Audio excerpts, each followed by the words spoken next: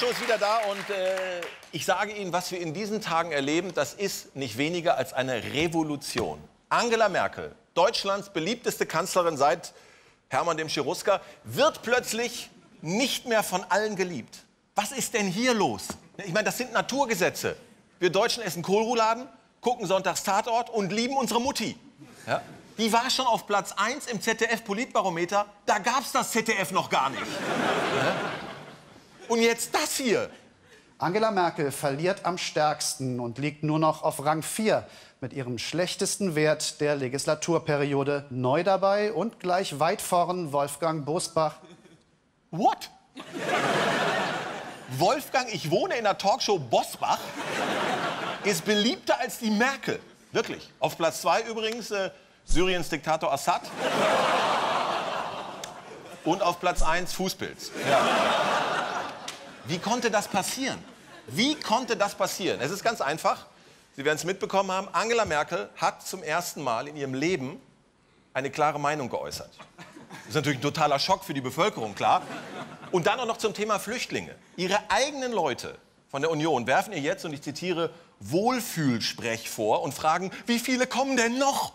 Wir hatten in den letzten vier Tagen äh, Größenordnungen von 8, 9, 10.000 jeden Tag. Es kann nicht sein, dass nächstes Jahr und übernächstes Jahr nochmal und nochmal und nochmal eine Million kommt. Von sieben Milliarden Menschen in der Welt geht es 6,5 Milliarden schlechter als uns. Und wenn die sich alle auf die Reise machen, na dann gute Nacht.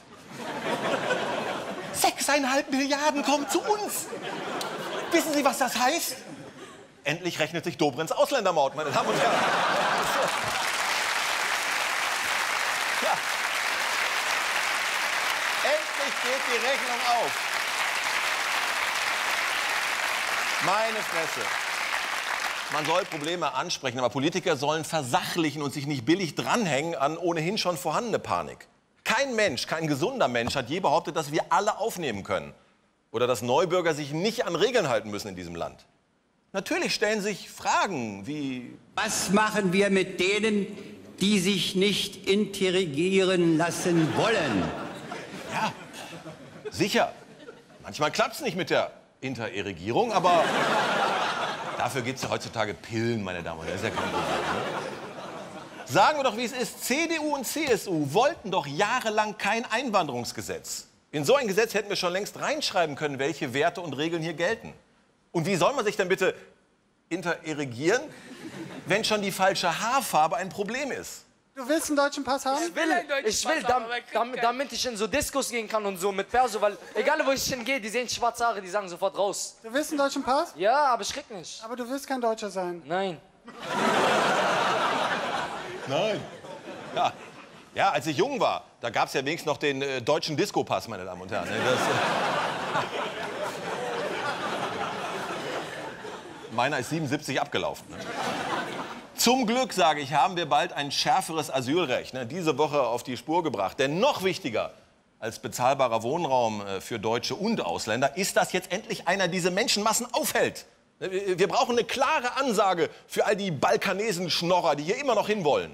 Wir werden euch schnell wieder zurückschicken und ihr werdet schnell wieder da sein, wo ihr hergekommen seid. Nur ihr werdet noch ärmer sein.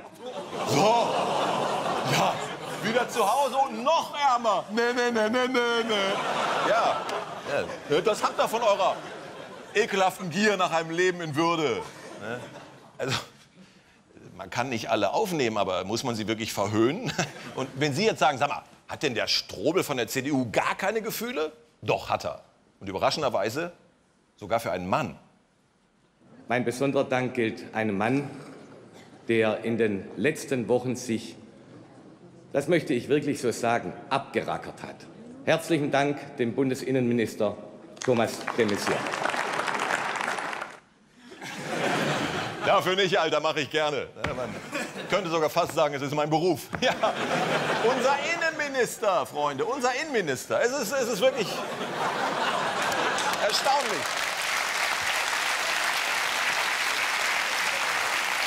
Ich kann das gar nicht so cool. Knickknack. Ja.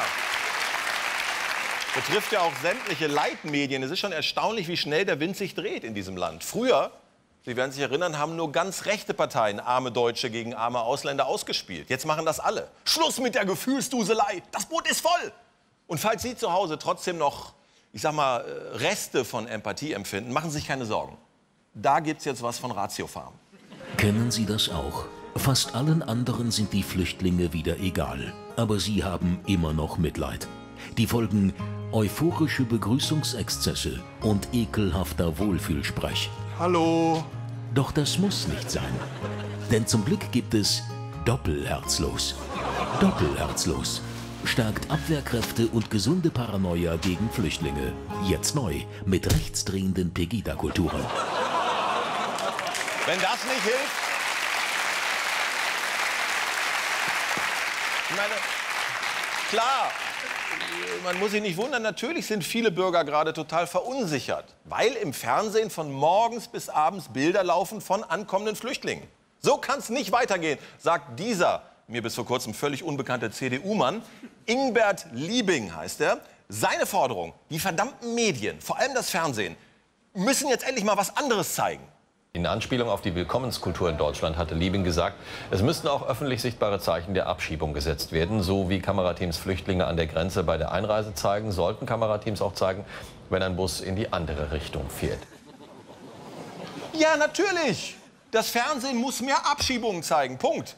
Sagt wohlgemerkt nicht irgendein Kandidat für betreutes Wohnen, sondern der kommende Spitzenkandidat der CDU Schleswig-Holstein. Wo ist meine Schleswig-Holstein-Camp? Ach, da drüben. Hallo Schleswig-Holstein. Moin, moin. Ihr wisst, normalerweise mische ich mich nicht ein in eure Wahlkämpfe, ne? was ihr da oben macht auf eurer Wiese. Wen juckt's? Ne? Nur, nur eine Bitte. Wählt auf keinen Fall diesen Mann. Der braucht Hilfe. Ist völlig egal, wen ihr stattdessen wählt. Von mir aus dieses Schaf. Ja? Aber nicht ihn. Danke, Schleswig-Holstein. Leg dich wieder hin. Dankeschön. Ja. Die Zeit nehme ich mir mal. Ist ja noch ein bisschen hin bis zur Wahl da oben. Wiederum andererseits, vielleicht hatte Herr Liebing ja auch ein bisschen recht. Vielleicht müsste man mehr Abschiebungen zeigen. Oder noch besser, wie wär's denn mit dem ganzen Fernsehsender? Abschiebe-TV mit Tina Aust, meine Damen und Herren. Abschiebe-TV mit Tina Hausten.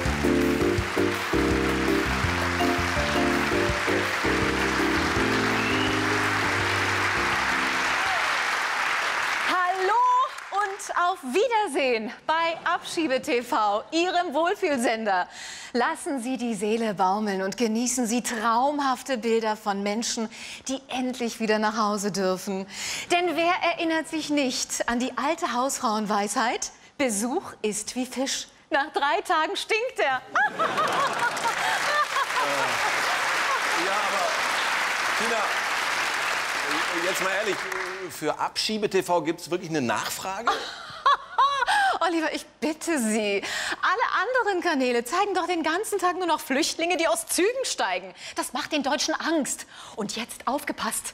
Wenn man diese Bilder Ja. einfach rückwärts laufen lässt, schon viel besser. Ja, Oliver, Ja. jetzt kommen die nicht mehr. Jetzt gehen die. Ja, da spüre ich richtig, wie der Preis für mein Reihenhaus wieder nach oben geht, weil nebenan doch kein Flüchtlingsheim gebaut wird. Das ist Abschiebe-TV, meine Damen und Herren, mit Programm-Highlights wie dem Heute geht's nach Hause-Journal mit Klaus Kleber und dem Rückreisewetter für Nordafrika. Und danach die schönsten Bahnstrecken raus aus Deutschland. Und natürlich unsere Samstagabendshow, das große Promi-Abschieden.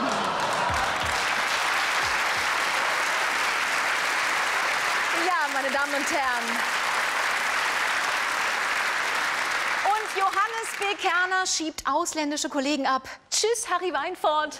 Verpiss dich, Howard Carpendale. Zieh Leine, Markus Lanz. Heißt Markus Lanz? Ja, der kommt aus Südtirol. Und sorry, aber Italien gilt als sicheres Herkunftsland. also, ciao, Markus. Ciao, ciao, ciao, Markus. Ja, okay.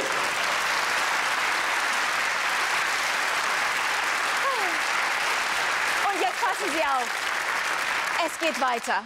Für unsere Kleinsten zeigen wir jeden Abend eine neue Folge Hau bloß ab, Jim Knopf. So, Jim, Endstation Ghana. Hier wohnst du jetzt wieder. Mach's gut und ruf nie wieder an. Ach, scheiße, warum kann ich denn nicht in Deutschland bleiben? Darum nicht. Kannst wiederkommen, wenn bei euch Bürgerkrieg ist. Hungern alleine reicht nicht. Och, Menno. Ist ja furchtbar. Ist ja nur furchtbar. Nein! Nein, Oliver! Das ist Abschiebe-TV. Willkommenskultur war gestern. Oliver, verstehen Sie doch. Wenn wir nicht wollen, dass die Deutschen irgendwann mit Fackeln auf die Straße rennen, dann müssen wir sie beruhigen. Und deshalb rufen Sie jetzt an und bestellen Sie unsere Abschiebe-TV-Entspannungs-DVD Goodbye Deutschland. Sieben Stunden herrliche Bilder von rappelvollen Bussen auf dem Heimweg Richtung Balkan.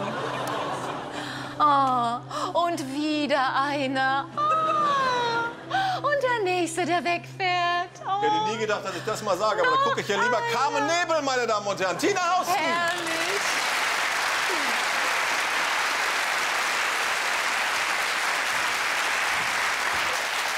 Abschiebe TV, meine Damen und Herren. So. Jetzt aber, jetzt aber kommt's richtig dicke für unsere Kanzlerin. Ursula von der Leyen, der letzte Star in Merkels Gruselkabinett, soll bei ihrer Medizin-Doktorarbeit geschummelt haben. Hm, Aber gut, Vorsicht. Natürlich gilt nach wie vor die Unschuldsvermutung. Ne? Andererseits, was ist geiler, als wenn Streber beim Mogeln erwischt werden? wenn es stimmt, wenn es stimmt. Allerdings gibt es, ich sage mal, Indizien. Cerno Jobatai äh, hat da schon vor ein paar Monaten aus Versehen die richtige Frage gestellt. Er hat gefragt, Frau Ministerin, was ist Ihre schönste Schulbuserinnerung? Was ist Ihre schönste Buserinnerung? Schönste Buserinnerung. Oh, ich weiß noch. Jetzt. genau. Erstens ist Buserinnerung ganz wichtig, Hausaufgaben abschreiben. Beweisaufnahme abgeschlossen, Freunde. Keine weiteren Fragen, Euer Ehren. Ja, von der Leins Doktorarbeit möglicherweise ein Schummelbuch mit Uschi als Mogeli. Und ich glaube jetzt einfach mal ein Zitat der Ministerin. Sie hat mal gesagt, ich finde es nicht schlimm, dass Mädchen in Sachen Bildung an den Jungen vorbeiziehen. Richtig. Und in Sachen gefälschte Politiker-Doktorarbeiten steht es jetzt 3 zu 1 für die Mädchen. Hurra! Großer Sieg für die Gleichberechtigung. Toll. Ja. Zu den Fakten. Auf 62 Seiten Doktorarbeit wurden 27 Seiten mit Plagiatstellen gefunden.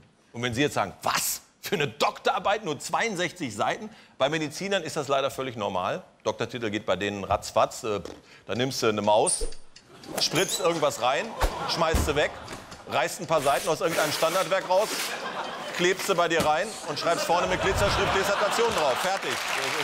Ja, hier. Zack, bist du Doktor. Ja.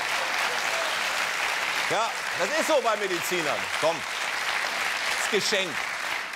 Wichtig ist doch nur, dass von der Leyen's Parteifreunde sie jetzt öffentlich in Schutz nehmen. Die klare Botschaft muss lauten, Unverschämtheit an diesen ganzen Plagiatsvorwürfen ist absolut nichts dran. Dazu äußerte sich jetzt unter anderem der stellvertretende CDU-Vorsitzende Strobel in der Rheinischen Post.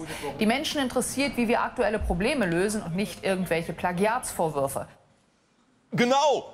Selbst wenn das stimmt mit dem Abschreiben, das interessiert auch keine Sau, wo die abschreibt, unsere Uschi. Das ist auch eine Verteidigungsstrategie, ich muss schon sagen. Also, die Hochschule Hannover. Die Hochschule Hannover hat inzwischen mit einer offiziellen Prüfung begonnen. Die muss man natürlich abwarten, das ist ja klar, ist ein journalistischer Mindeststandard. Wir schalten trotzdem schon mal rüber zu von der Leyen's Privathaus nach Burgdorf bei Hannover, belagert von einer riesigen Medienmeute und von Christian Ehring. Christian, ist die Aufregung nicht doch ein bisschen übertrieben? Bitte? Übertrieben? Von der Leyen wurde es doch immer verkauft als die große Überfrau, die einfach alles hinbekommt. Ja? Kind und Karriere, kein Problem. Die Uschi schreibt im Kreissaal zwischen zwei Presswehen ihre Doktorarbeit und fährt dann mit wehender Nabelschnur auf dem Mountainbike nach Afghanistan. Ja? Kleiner Haken, alles erfunden. Frau Dr. von der Leyens Leben ist eine einzige Lüge. Naja, also das ganze Leben. Ich bitte Ja, natürlich. Ohne Abschreiben kann die gar nichts. Hier, dieses Bild habe ich in ihrer alten Grundschule geklaut, ge- gefunden. Ja? Hat äh, Klein Ursula mit sieben gemalt. Vollkatastrophe. Da stimmt nichts.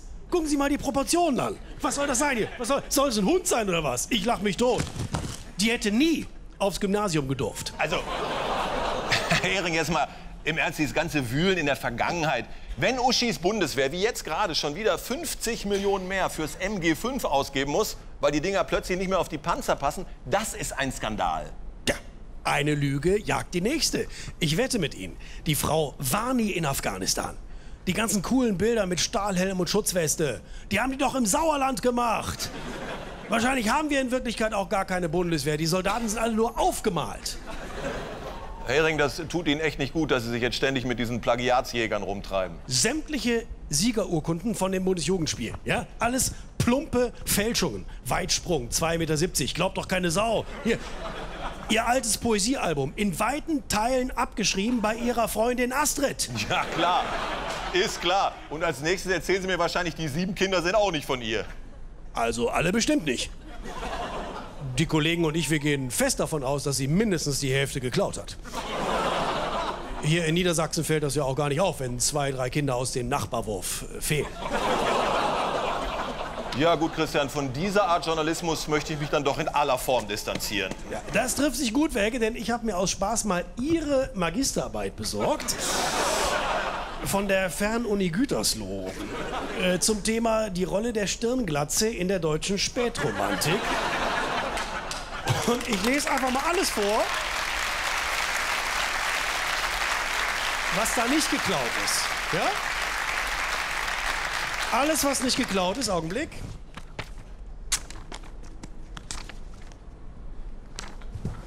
Fertig. Christian Ehring, meine Damen und Herren, vielen Dank.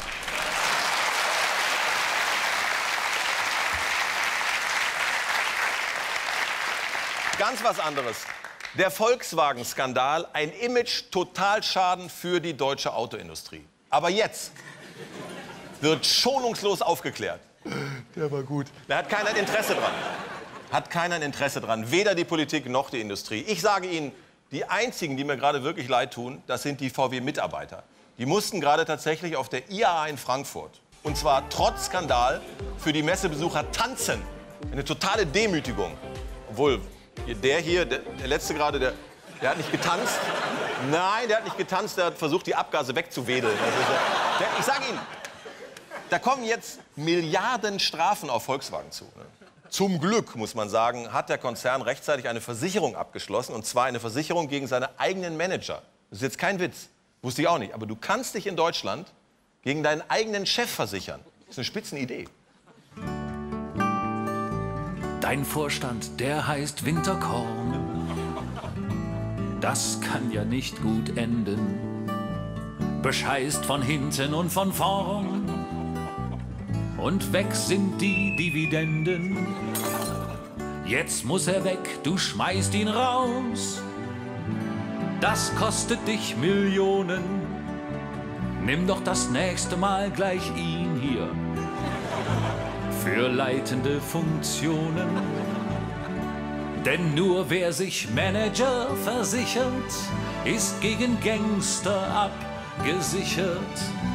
Der sorgt vom ersten Augenblick dafür, dass keiner ihn mehr fickt. Denn wir haften für Idioten. Hoffentlich Manager versichert, meine Damen und Herren. Ja, gibt's wirklich. Ja. So. Entschuldigung. Entschuldigung. Wenn man wie VW seinem Chef gerade mal 16 Millionen im Jahr zahlt, dann kann man nicht erwarten, dass der alles richtig macht. Ne? Das eigentliche Problem bei uns im Land sind aber nicht die paar gierigen Manager, sondern die Nähe zwischen Politik und Autolobby. Die großen Autofirmen haben tatsächlich ihre Leute in den Ministerien drin sitzen. Die haben da eigene Schreibtische. Und im Kanzleramt sieht es leider auch nicht viel besser aus. Demnach war kein anderer Wirtschaftsverband häufiger zu Gast im Kanzleramt als die Autoindustrie. Allein mit der Bundeskanzlerin gab es 33 Treffen, durchschnittlich also einmal im Monat. Ja, die Merkel trifft die Autotypen öfter als ihren Mann. Na gut, sie trifft auch Barack Obama öfter als ihren Mann, aber das ist ja gar nicht der Punkt. Warum gehen Leute wie Matthias Wissmann, er hier, ein und aus in der Merkel-Hütte? Der Oberauto-Lobby-Heini und Ex-Verkehrsminister. Was hat der Mann uns für einen Scheiß erzählt in den letzten Jahren? Wir sind weltweit die anerkannteste, innovativste Automobilindustrie. Die erfolgreichste Automobilindustrie der Welt. Die innovationsstärkste internationale Automobilindustrie. Weil die deutsche Automobilindustrie ist, wie Sie wissen, die beste der Welt. Die umweltfreundlichste inzwischen weltweit, mit den niedrigsten CO2-Schnitten.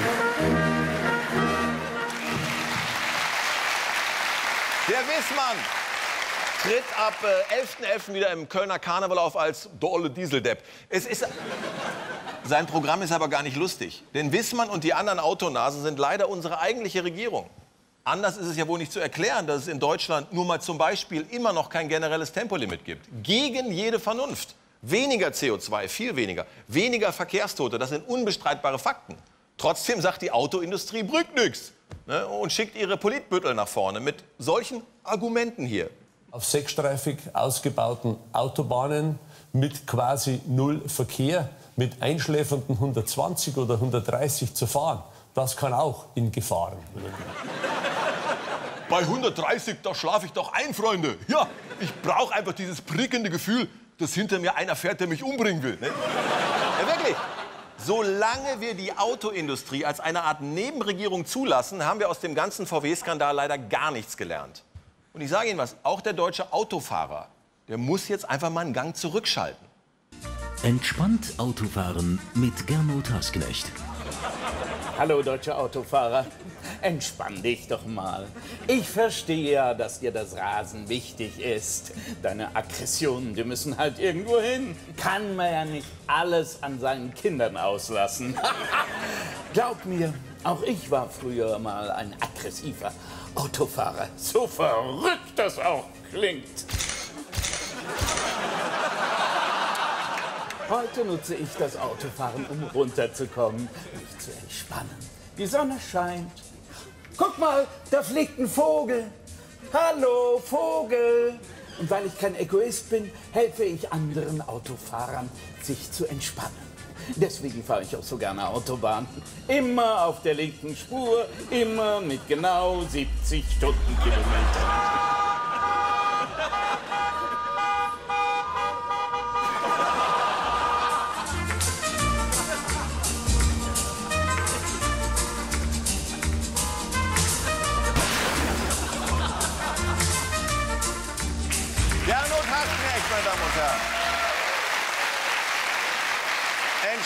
Entspannungshilfe für Autofahrer.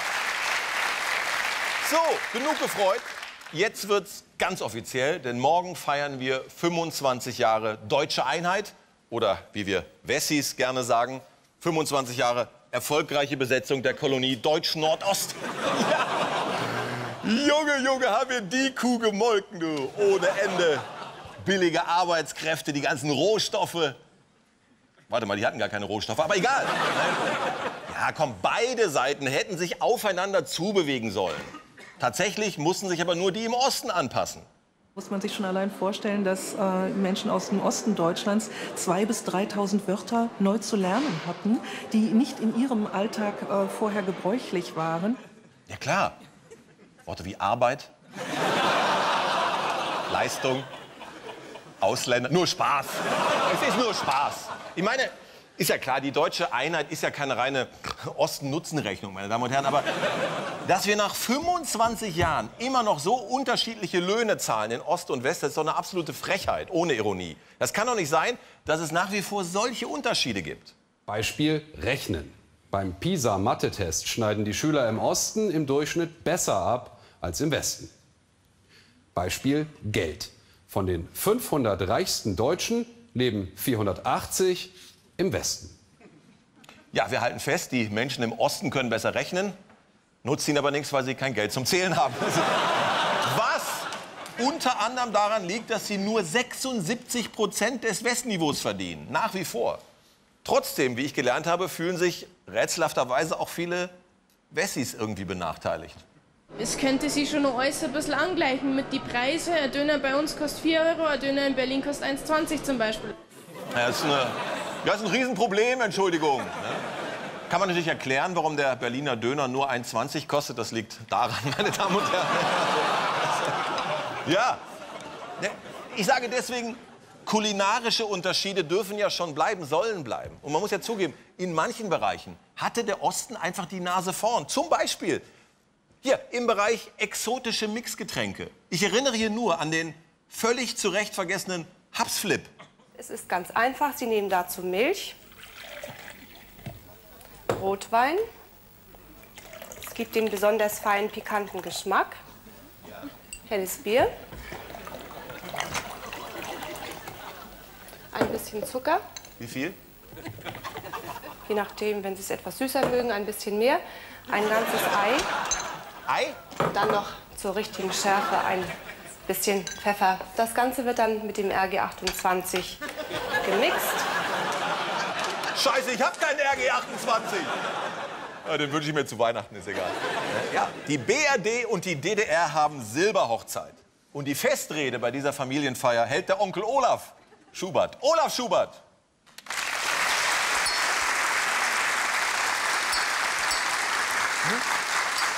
Ja, 25 Jahre Ehe, ach, Silberhochzeit. Grund zu feiern. Juhu! Ja, Top-Stimmung, da steppt der Papst im Kettenhemd, aber äh, schauen wir mal zurück, wie es begann. Und nicht ganz so laut. Ne? Ja. Am Anfang war es wirklich nicht leicht. Ne? Wir wissen, das Brautpaar fremdelte und haderte mit Vorurteilen. Ich weiß es, ich bin ja selber aus Dresden. Und in der Presse stand jetzt sogar mal zu lesen, ich wäre das Gesicht Ostdeutschlands.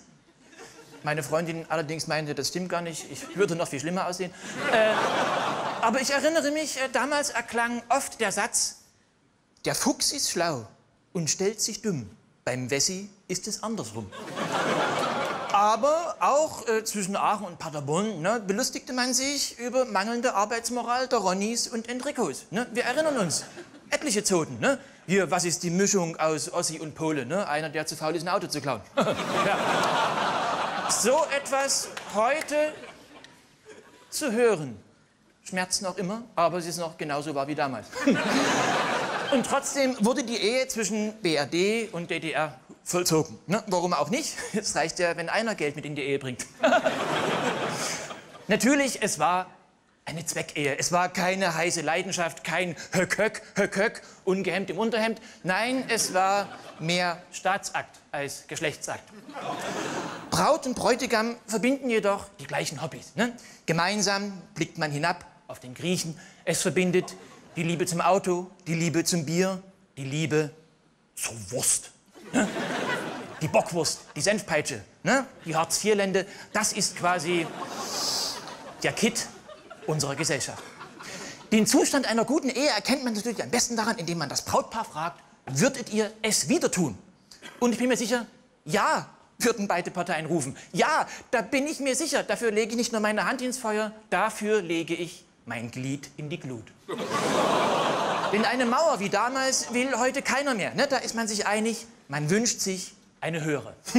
so, erheben wir also das Glas, die Löffel bleiben liegen, genau, und rufen wir dem Brautpaar zu, redet miteinander, seid ehrlich und hört euch zu. Denn wenn man nicht mehr kommuniziert, wir wissen ja, wie das endet. Ne? Die Frau zetert rum, den Mann interessiert es nicht. Die Frau sagt, ich springe aus dem Fenster. Der Mann sagt, ich warte unten. also, auf die nächsten 25 Jahre, da müssen wir jetzt gemeinsam durch. Prost.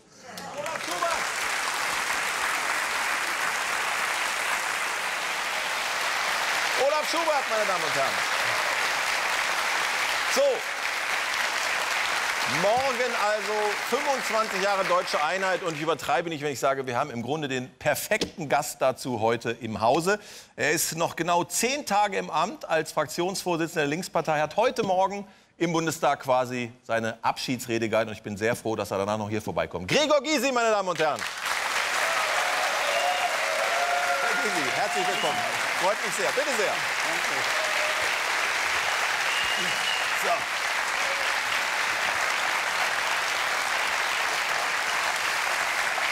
Herr Gysi, freue mich sehr, freue mich sehr, dass das endlich geklappt hat. Ich habe heute bei den Kollegen im Mittagsmagazin im ZDF gehört, Sie hätten Angst, in diese Sendung zu kommen. Warum das denn?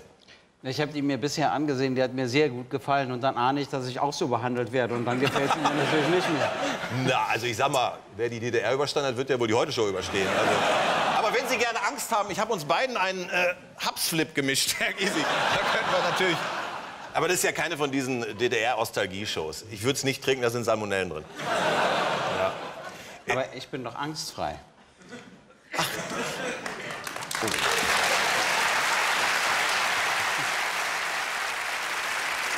Ja, Gregor Gysi hat äh, heute tatsächlich seine, äh, da bin ich, seine letzte Rede als Fraktionsvorsitzender im äh, Bundestag gehalten. Und das ist auf eine Art sehr schade, weil wie wir, die wir ja alles gucken, was im Bundestag passiert, festgestellt haben, es wahr. gibt in die, doch, deswegen das- sehe ich so alt aus. Es gibt, Das hielt ich auch gar nicht aus, ehrlich gesagt. Nein, aber Gysi, was wir gelernt haben, es gibt wenige, die sich in diesem Hohen Haus so schön aufregen wie Sie. Das wird uns fehlen. Was, haben Sie endlich mal den, ja, haben Sie endlich mal den Mumm. Und man erfährt so gut wie nichts, sondern immer nur ein kleines Stückchen. Das geht einfach nicht. Deshalb sage ich diesem Baller, Baller und ein Pfeifenverein. Sagen Sie doch wenigstens, wenigstens mal. Sagen Sie das doch wenigstens mal. Und dazu brauchen Sie den Mumm. Ich bin es sowas von leid. Sie können mir doch nicht das Wort verbieten, hören Sie mal zu. Quatschen Sie nicht einfach dummes Zeug. Das ist doch der Gipfel. Ja, Gregor Gysi, best of.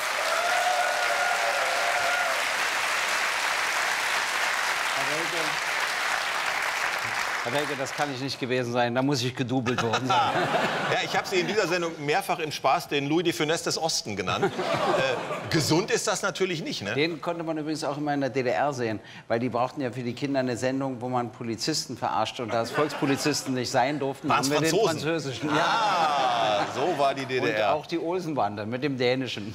Ja, ja, also Sie waren nicht im Tal der Ahnungslosen, sondern in Berlin wahrscheinlich. Ja, ich war in Berlin. Das war äh, ein Unterschied zum Dresden. Konnten wir viel Westfernsehen sehen, Westrundfunk hören. Das hat uns schon geprägt. Hat einen weitergebracht, na klar. Äh, Na, es, hat, es hat auch für Illusionen gesorgt. ja, und wenn man den Schwarzen Kanal geguckt hat, haben Sie wahrscheinlich gedacht, dass wir alle Ja, Drogen nehmen und waren ganz enttäuscht, als Sie dann hier rüberkamen. Das habe ich äh, nun auch wieder nicht gemacht. Das war mir zu anstrengend, ehrlich gesagt, und zu langweilig. Sie sind ja, da sind sich tatsächlich äh, sogar, äh, sagen wir mal, nicht gerade die politischen Freunde, sogar politische Gegner sind sich da einig, dass Sie ein richtig guter Redner sind. Denkt man da manchmal, Mensch, ich hätte eine richtige Karriere machen können, wenn ich in der richtigen Partei gewesen wäre? Oder? Naja, da wäre ich schon was anderes geworden, aber dazu hatte ich keine Lust. Ja. Das hat mir so schon Spaß gemacht, ehrlich gesagt. Außerdem liebe ich den Spruch, viele Leute sagen zu mir, ach, Sie sind ja eigentlich richtig, aber in der falschen Partei. Und dann sage ich immer, welche ist denn die richtige? Dann sagen die meisten, haben sie auch wieder recht. Ja, ich habe mir natürlich Ihre Abschiedsrede dann heute Vormittag mal angeguckt. Und was ich sehr, sehr spannend fand, Sie haben heute, das haben Sie dann selber erzählt im Laufe der Rede, Sie haben zum ersten Mal die anderen Abgeordneten als liebe Kollegen und liebe Kolleginnen angeredet. Also Hab ich noch nie gemacht, ja. Zum ersten Mal nach all den Jahren. Warum haben Sie das nie gemacht? Weil das waren ja in gewisser Weise Ihre Kollegen. Na, ich habe sie so nicht empfunden und die mich auch nicht. Okay. Verstehe. Und da habe ich mir gesagt, jetzt musst du dir mal einen Ruck geben, denn inzwischen behandeln sie mich ja doch, wenn ich alles zusammennehme, etwas respektvoller. Und da dachte ich beim Abschied, sage ich mal, liebe Kolleginnen und Kollegen, und es ist ja kein richtiger Abschied, ich musste Sie enttäuschen. Erst habe ich gesagt, das ist meine letzte Rede, ist dann klatschen schon welche sagen, nein, Sie sind mich doch noch nicht los, ich bleibe gefreut. ja Bundestagsabgeordneter. Naja, wo wir jetzt hier so heiter sitzen, Sie haben aber schon auch heute von äh, Verletzungen gesprochen, Ja, die Ihnen da zugefu- zugefügt werden. Sie haben gesagt, da ging es Ihnen nicht zuletzt um das Thema äh, Immunität, wie sich da äh, einige Richtig. Leute, also letztlich um die Stasi-Vorwürfe, Zum ich. Beispiel, aber auch um andere Sachen. Also es gab so viele Bereiche, man vergisst das ja auch immer. Jetzt, ich Idiot, habe leider unterschrieben, eine Autobiografie zu schreiben, machen Sie das nie. Das ist Hm. derart anstrengend, sage ich Ihnen. Man bringt doch alles durcheinander und so. Also auf jeden Fall äh, habe ich mich mal mit all diesen Vorwürfen beschäftigt. Viele interessieren ja heute auch keinen mehr. Aber mich hat das natürlich schon geprägt und dann bist du ja in diesen Auseinandersetzungen drin und das kostet ja auch sehr viel Kraft. Und deshalb sage ich ja immer, die FDP hat bei mir so einen kleinen Stein im Brett, weil sie nicht mitgemacht hat. Meine Fraktion natürlich auch nicht, aber die FDP hat auch nicht mitgemacht. Nur die anderen waren sich einig. Aber das wollen Also, sie alles... wenn, wenn, die, wenn die FDP die Stimme der Vernunft ist, aber was das schiefgelaufen. ist ja, das ist... Wem sagen Sie das? Wem sagen Sie das? Aber äh, äh, Stasi ist ein gutes Stichwort. Einer ihrer Nachfolger, also der, einer ihrer Nachfolger als Fraktionsvorsitzender, Dietmar Bartsch, musste diese Woche äh, ein paar mehr Interviews geben als sonst. Er hat 2012 Mitarbeiter angewiesen, quasi Akten anzulegen über den 44-köpfigen Parteivorstand. Der wurde in äh, Freund- und Feindgruppen eingeteilt, abgeheftet unter, und das ist jetzt, glaube ich, so korrekt zitiert, unter Z wie zuverlässig, U wie unabhängig und L für Lafodödel. Lafodödel benannt natürlich nach dem Mann von Frau Wagenknecht, das muss ich dazu sagen. Äh, solche Akten anlegen, ist das doch dann so eine Art DDR-Traditionspflege oder wie habe ich das zu verstehen?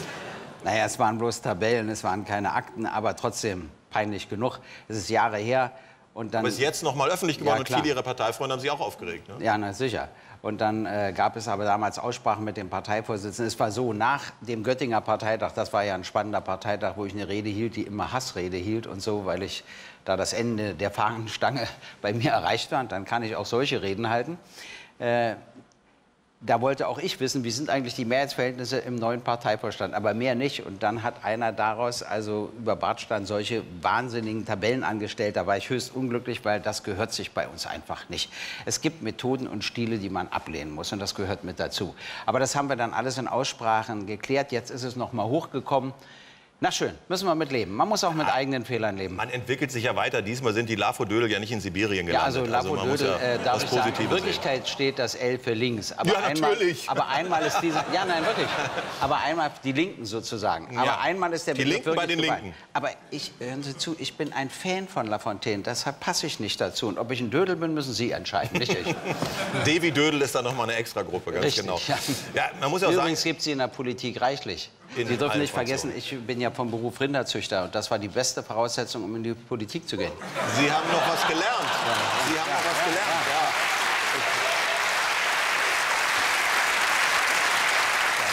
Jetzt beginnt natürlich dann in zehn Tagen für Sie eine etwas äh, ruhigere Phase. Sie bleiben ja noch im Bundestag, setzen, sitzen sich dann wahrscheinlich ein bisschen weiter hinten äh, ins Plenum. Letzte Reihe, glaube ich. Genau. Es war immer der coolste Platz, auch in der Schule. Immer, ja. Äh, Vor aber man muss ja sagen, beim Ton. Beim Ton war es wichtig, dass ich der Kleinste war. Ich kam immer als Letzter dran, da konnte der gar nicht mehr hingucken. Okay. Das Also- verbessert die Note. ist das wahr? Ja, Ich weiß es nicht, ich war nie klein. Nein. Ähm, Herr Gysi. Ehrlich gesagt, das weiß ich nicht. Aber wahrscheinlich waren sie nie kurz. Richtig, richtig. Ja, worauf ich hinaus will, das wird für Sie natürlich ein neuer Lebensabschnitt jetzt und das wird sicherlich auch äh, eine Umstellung, denn wie ich gemerkt habe, Sie mögen ja auch ein bisschen das Spiel mit der Öffentlichkeit und äh, wie wir mehrmals bei unseren Dreharbeiten festgestellt haben, Sie haben auch äh, regelrechte Fans und was für welche? Oh Gott. Ich liebe sie so sehr. Endlich mal treffe ich sie persönlich. Geht das für meine Freundin auch? Ganz toll war ich. Grüße Ihre Freundin schon. Ja, mach ich. Oh, das ist so geil.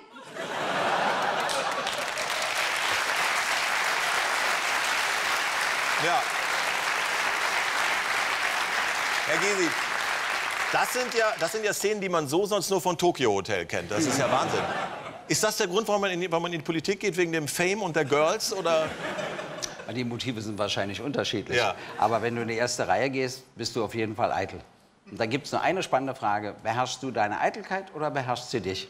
Ist der Kampf schon entschieden, oder? Ja. Einmal hat sie mich beherrscht oder vielleicht auch zweimal. Ja. Äh, das war dann furchtbar. Und dann habe ich mir große Mühe gegeben, sie zu beherrschen. Deshalb zum Beispiel traue ich mich ja nicht in solche Sendungen mit Ihnen. Das Blöde, dass ich hier sitze, liegt daran, dass ich die Herrschaft über meinen Kalender aufgegeben habe. Das haben die Mitarbeiter alles entschieden. Nun sitze ich hier.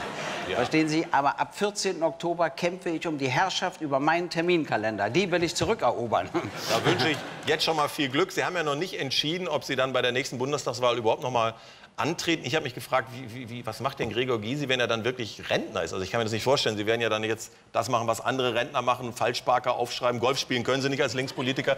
Was machen Sie denn dann den ganzen Tag? Ja, nicht nur nicht als Linkspolitiker, ich treffe ja den Golf nie, da habe ich ja keine Chance. Ähm, also, was mache ich? Ich baue ein bisschen meinen Anwaltsberuf aus. Ich bin ja noch, mache Außenpolitik im Bundestag. Außerdem werde ich wieder publizistisch tätig. Ich habe Meetings im Deutschen Theater, das werde ich ein bisschen verstärken. Und dann werde ich noch so zwei, drei Sachen machen, über die ich noch nicht reden darf. Okay. Und selbst Da wenn... sehen wir uns dann wieder. Dann lade ich Sie ein. Da komme ich, in jedem Das ist Fall. mir auch Das viel muss- dann lieber, trinken wir zusammen gesagt. eine ganze Flasche wenn, Habsflip. Ja, und zwar vor allen Dingen, wenn ich Fragen stelle und Sie müssen antworten. Das habe ich mir schon immer gewünscht. So eine Runde, wissen Sie, wo ich sitze und da sitzen vier Journalisten und dann sage ich immer, wie würden Sie denn wirksam Arbeitslosigkeit bekämpfen? Bitte anderthalb Minuten. Ja. Ah, das habe ich mir auch vorgestellt, als ich da so für Antworten kriege. Dann komme ich doch nicht. Gregor Gysi, vielen Dank, dass Sie da waren. Danke, danke sehr. Gregor Gysi, meine Damen und Herren. Dankeschön. Und das war die heute Show, meine Damen und Herren. Jetzt kommt das literarische Quartett. Unbedingt gucken. Wir sehen uns nächste Woche wieder. Schönen Abend noch. Tschüss.